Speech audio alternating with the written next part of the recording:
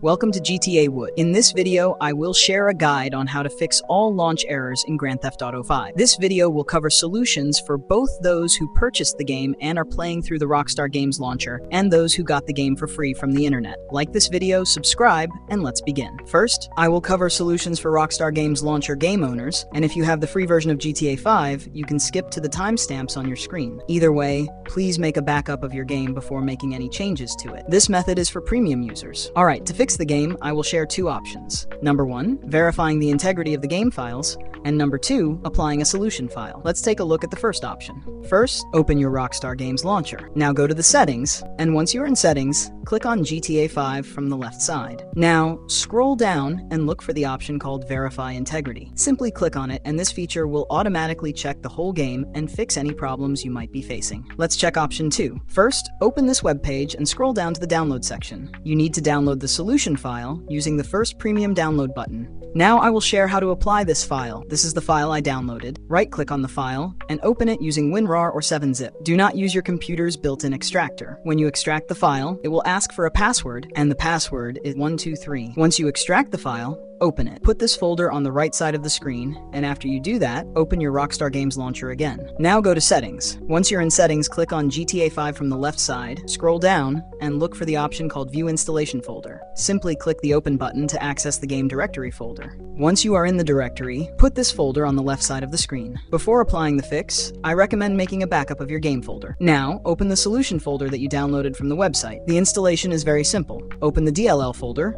Select all the DLL files and copy them. After that, paste these files into the GTA 5 directory folder. Next, go back to the solution folder and open the folder in M. Select all the files and copy them. Paste these files into the GTA 5 directory. After that, go back to the solution folder again and open the last folder. Just like before, copy all the files and replace them in your Grand Theft Auto 5 directory. Alright guys, once you do that, it's time to launch the game. On your first run, you should turn off your internet and then play the game using the Rockstar Games launcher. I hope your game is now working and that you can enjoy both GTA 5 Story Mode and GTA Online if you own the Premium Edition. Now I will share the solution for those who got the game for free from the internet. You can skip to the timestamps on your screen to hear my final thoughts, or like and subscribe to show your support. With that, it's time to fix the game who got the game for free from the internet. To fix the game, first, open this web page and scroll down to the download section. Once you're there, you need to download the second file using the provided download button. So I have this file here, and I want to clarify two things. Number one, do not extract this file. I will show you how to use this solution file in a moment. Number two, this solution is for those who have the latest version of GTA 5. If you have a very old version of GTA 5, like 1.40, I will leave a different video on this topic to help fix your game problems. Now, back to the installation.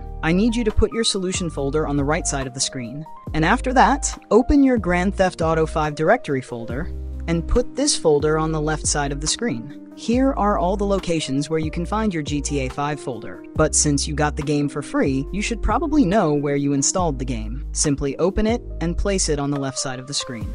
Before we proceed with the installation, I need you to copy your Grand Theft Auto 5 directory folder location from the top bar and open your Windows Defender. Once here, go to Virus and Threat Protection, scroll down, and click on the Manage Settings option under the Virus and Threat Protection Settings section. Now, scroll to the bottom of your screen and click on the Add or Remove Exclusions option under the Controlled Folder Access section. Once here, click on the button called Add an Exclusion and select the option Folder from the dropdown. In the window that appears, Open your GTA 5 directory folder using either the address you copied or by searching for it on your computer. After that, click on the Select Folder option, and it should add your game folder here. This way, your game files will not be deleted due to false positive issues in Defender. I recommend you do the same in your antivirus program if you have one installed. Now we will apply the fix. In the solution folder, we have this file, and as I said before, do not extract this file. You need to open this file with the help of WinRAR or 7-zip we will use WinRAR. Once it loads up, let's put this window on the right side of the screen. Some parts of the installation are different, so make sure you follow step by step. Open the first DLL folder, and I need you to select all the files from here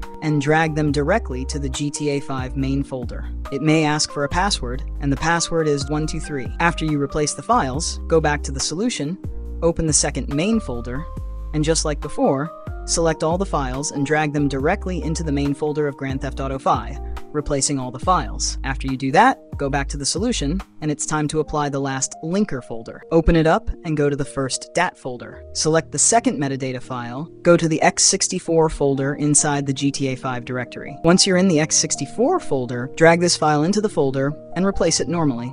Now, go back to the GTA 5 directory, as well as the solution folder, and open the second folder named DAT1. Go to the update folder, open the x64 store folder, and paste this file there. After you replace this file, go back to the GTA 5 directory and back to the solution folder. Then open the last RPF folder. Now select the last two files. To copy these, go to the update folder in Grand Theft Auto 5 and simply drag the solution files here and replace them. Also, note that WinRAR or 7-Zip may ask for the password every time you copy something from it. The password is 123. Now the installation is not complete yet. You need to do something very important. First, go back to the GTA 5 directory and make this window full screen. After that, scroll down and look for this file called playgtav.exe. Once you find it, right-click on it and create a shortcut to your desktop, just like I'm doing here. Once you create the shortcut, go to your desktop and right-click on the GTA 5 shortcut. Then, select the Properties option. It should open this window, and here we will add a small code to make the game playable. Let me zoom in on it so you can follow carefully. Look for this option called Target, and I need you to click on the very end of this address. Once you do that, hit Enter to make some space and write the code on your screen. Make sure you do it the same way I did.